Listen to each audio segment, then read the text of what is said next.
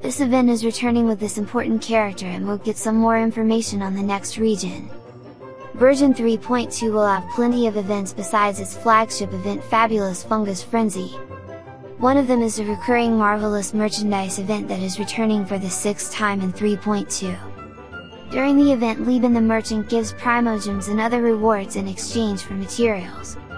But that's not the only thing players love in Marvelous Merchandise.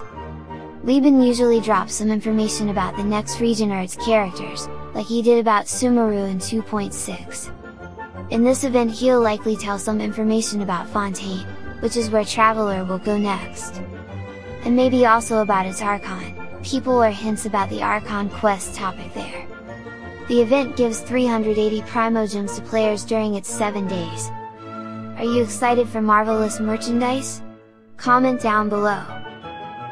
Thanks for watching!